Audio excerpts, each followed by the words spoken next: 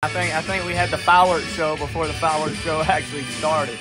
Yeah, Langley Langley's been our guy all year, uh, so we trusted him with the ball. He wasn't as sharp as he normally is, but he found a way to get it done. Yeah, Whitlinger's been very good for us in the outfield, not only in the outfield but also hitting wise. He made a phenomenal grab uh, right there, keeping the tying run um, that third base. Yeah, the guys the guys stepped in the box. They had an approach uh, the whole night. We swung it pretty well tonight. We played our game. We played the small ball game. We ran the bases very well. I think we had about six or eight stolen bases um, on the night. Um, and overall, we found a way to get it done.